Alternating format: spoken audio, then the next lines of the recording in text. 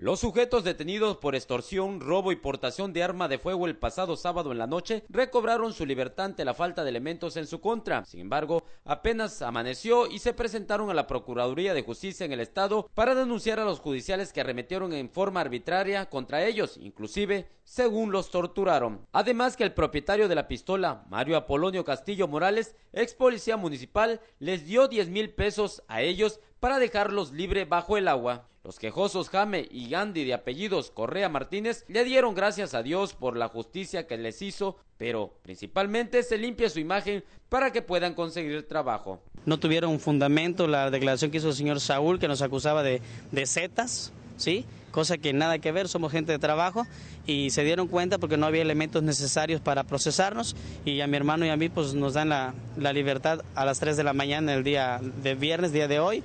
Eh, vengo, vengo a hacerlo público porque nos han manchado nuestra imagen, sí, por declaraciones que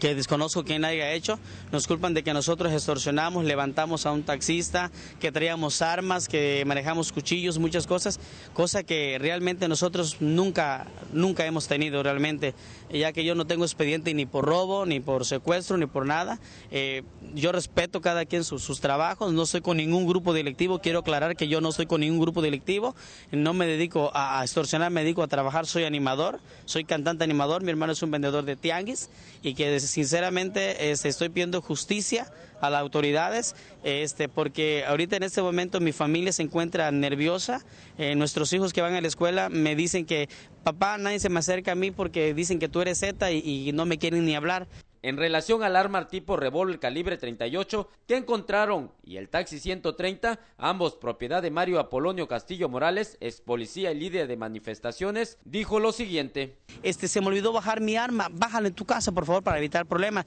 Mi hermano baja ese portafolio y lo deja ahí y el señor pasa por su arma y es todo lo que lo que sabemos de él.